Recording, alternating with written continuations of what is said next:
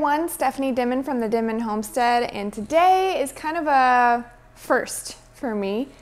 Um, well, kind of and not. So, not my first time to make chicken pot pie, but last time we did a taste test at Dan and Lou's, we decided on a competition.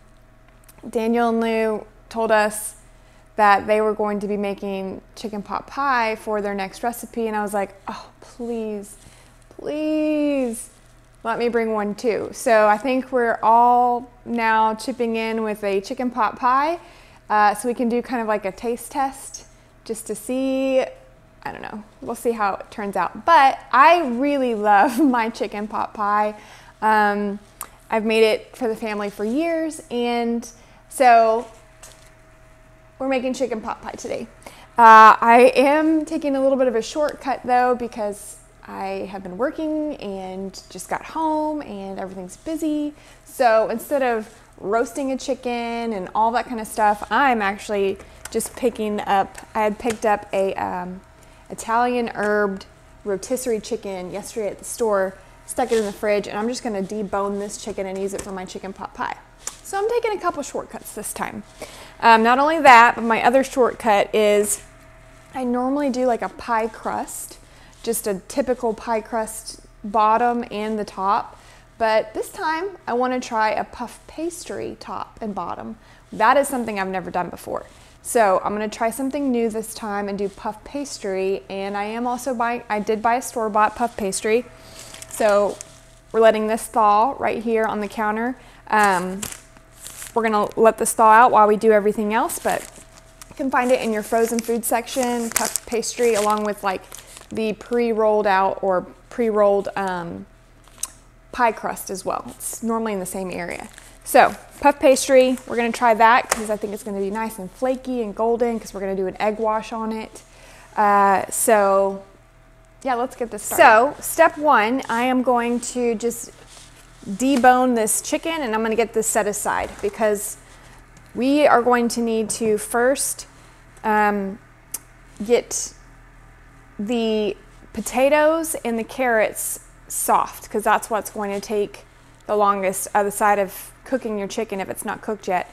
Um, cooking the carrots and potatoes, getting them oh, soft enough so that whenever they're in the pie and it bakes, they're still not hard and crunchy um, for the dish itself.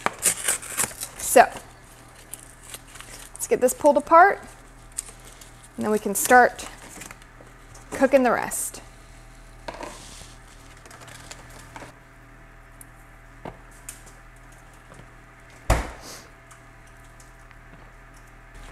Okay, I have picked that chicken. I used the lid of it, um, pretty clean. Got the dark meat and the white meat and a little bit of that fat that settled to the bottom of it. Um, put some of that in there. Now what I need to do is I'm going to get my cast iron pot here. Let me show you. Okay, got my cast iron pot here. Um, I'm going to add in some chicken broth. If you were to cook your chicken and your potatoes and your carrots together in some water, like boil it, you could probably skip the chicken broth step, but because the potatoes and carrots did not have an opportunity to cook with chicken juices, I want them to absorb that flavor. So I'm going to cook them into chicken in chicken broth. And I have my oven going at 400 degrees. I just have it preheated at 400 degrees. Now I'm going to chop up some golden potatoes into bite-sized cube pieces.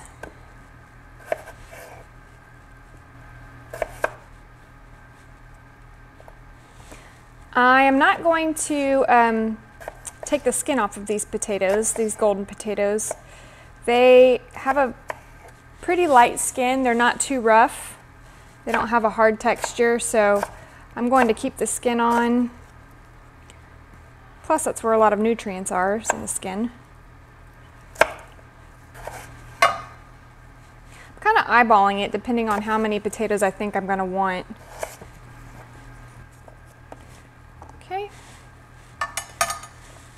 I did about three medium potatoes. That'll be good. I'm gonna go ahead and turn on the heat. Bring this to a boil. And I'll chop my carrots and add them too. Carrots.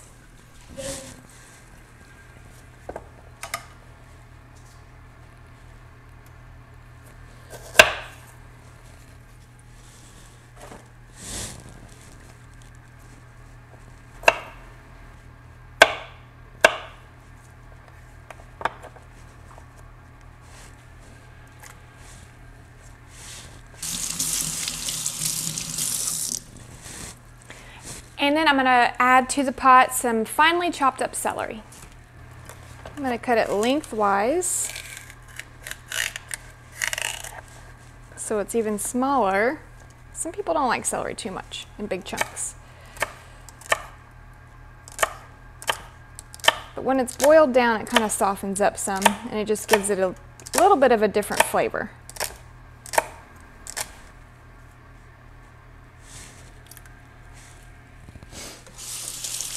Okay, so we have our um, celery, carrot, and potato coming to a boil in the chicken broth. To my skillet, I'm going to add half a stick or a quarter cup of butter to the pan and get that going. While that melts, I'm going to chop up my onion and some garlic.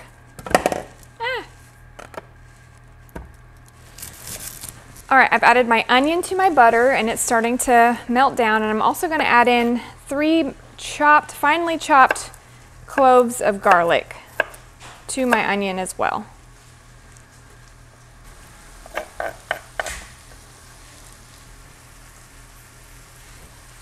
All right, I'm adding in the garlic pieces now.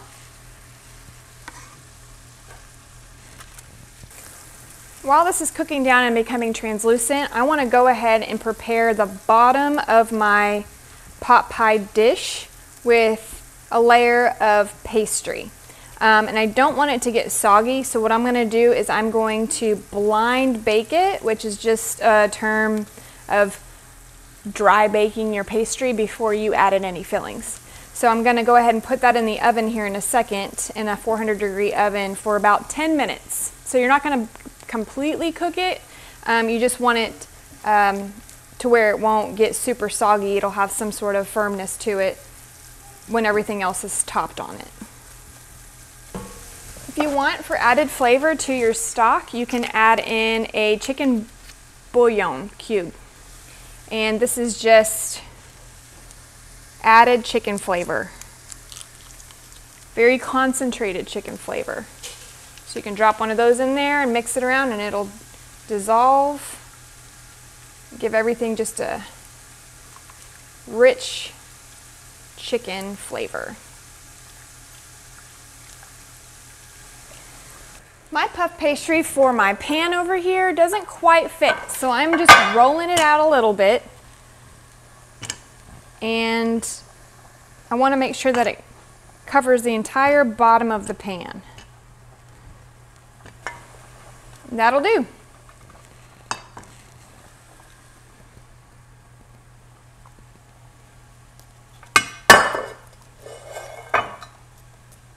All right, I got my puff pastry laid out in my pan here and I'm going to prick it with a fork and pop it in the oven. Pricking it with a fork just allows hot air to escape from underneath it so it doesn't become one big giant bubble.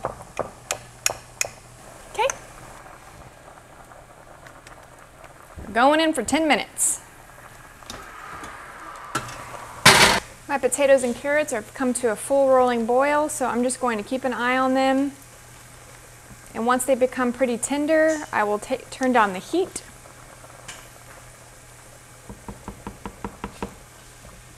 And it won't take too much longer because the pieces are small. So for now, what we're gonna do is to our onion and garlic and butter pan, to our onion and butter and garlic pan, we're gonna add in a quarter cup of flour. So as much oil as you have, that's how much flour that you wanna add. So we added a quarter cup of oil or a quarter cup of butter. We're going to add a quarter cup of flour and we're gonna mix this in to make a paste and we're gonna cook it down for just a couple minutes. You have to continue to stir it um, or else it will burn. All right, so I've got my quarter cup of flour and I'm just gonna sprinkle this all around and then we're gonna start stirring it.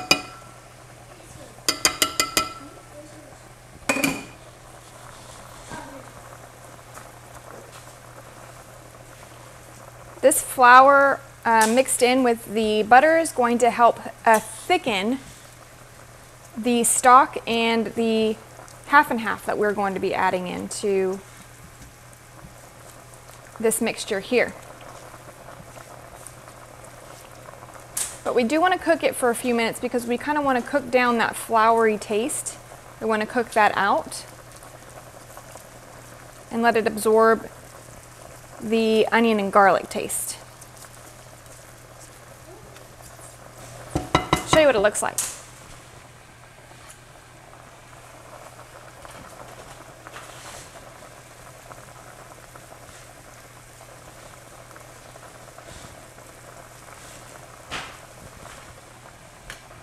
I'm just going to stick a fork some of these potatoes and just see how we're looking. Oh yeah, they're fork tender. I'm gonna turn that heat off.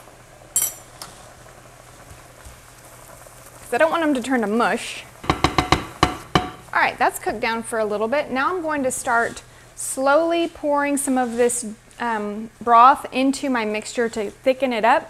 And then we're gonna add everything together, including our spices. Um, put them in the pie, pop it back in the oven, and it'll be done in about 30 minutes, which is perfect timing because we've got to be down there in about 30 minutes. I'm just going to take some of the broth for now.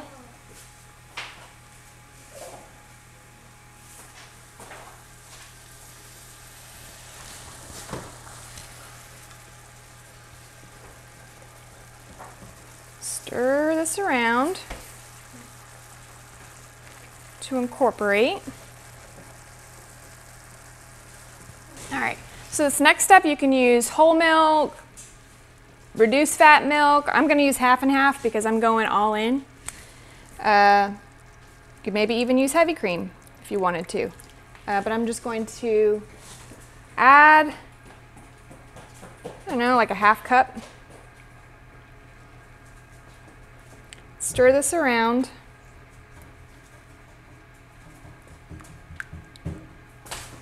And then at this point, I'm gonna go ahead and start adding in my seasonings. I'm gonna add in some thyme, some whole thyme.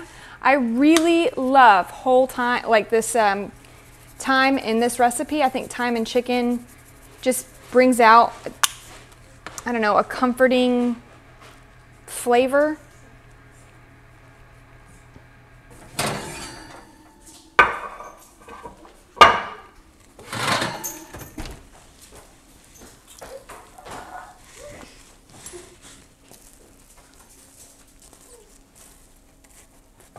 My puff pastry is out, but I'm gonna go ahead and pop some holes in it so it can just unpuff itself a little bit. And it'll kind of deflate back down.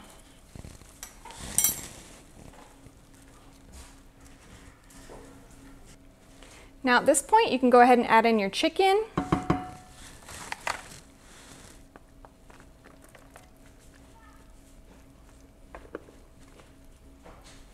And your vegetables.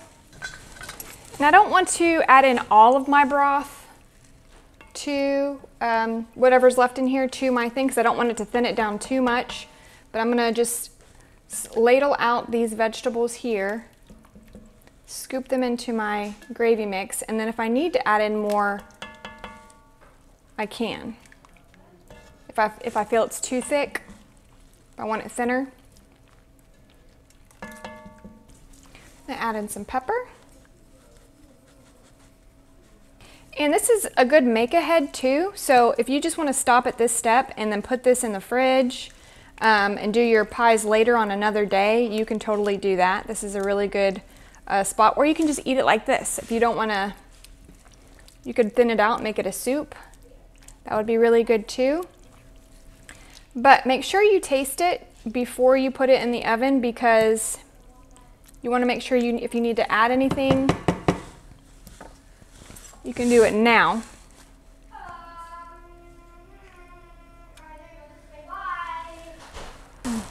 Man. That is so good. And I actually didn't add any salt yet um, because the chicken broth was not low sodium. It was salty and on its own. So I don't really think it needs salt at all. All right, I am going to scoop out the last of these and then I need to get this in the oven. I'll have seconds to spare.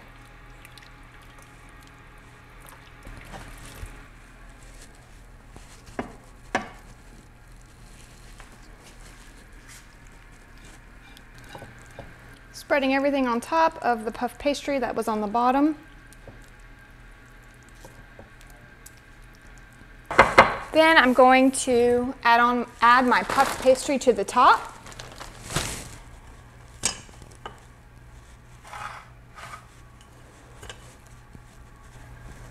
All right. So, just going to roll this out, tuck it, and then we are going to finish it with an egg wash.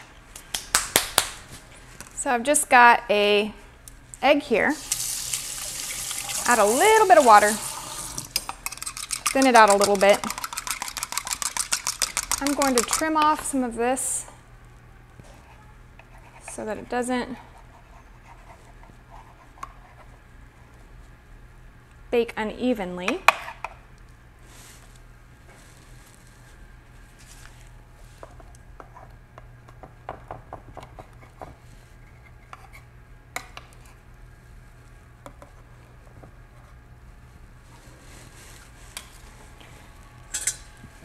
I'm gonna take my little paintbrush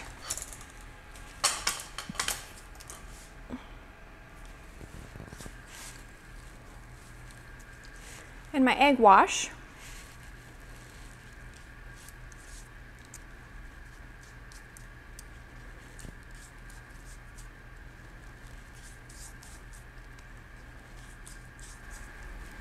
And then all you're gonna do is cut a little, a few slits in the top for air to escape. And pop it in the oven. All right, this is fresh out of the oven. It is still sizzling away, but man, it looks good. And we are headed to the competition. I'll let you know how it goes. All right. Walking up to the competition. I put a lot of work into this. Oh, yeah? Pot pie, yeah. I bet it's going to be delicious. I hope so. Yeah. Slaved over it. Yeah. Good luck. Okay. What did Kim say? She's coming now? Oh, you made that? Huh? No, I did. Oh, you made that? No, he made that. Tell me that don't look awful. I didn't know she was making a pot pie too.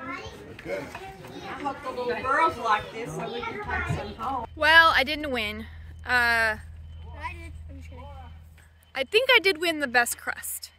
Everyone seemed to like the puff pastry crust, but Kim's pie overall, I think, got the most votes, which is fine. Mustard pie. Buddy, Buddy said it had mustard in it. Kim said it didn't. I don't know. It had something tangy in it. Something mustard. You weren't a fan? Who did you think won? I'm not gonna say it on camera. Just kidding. Yours was the best, babe. Aw. He has to say that. Because I make all the food. Let's go, Laura.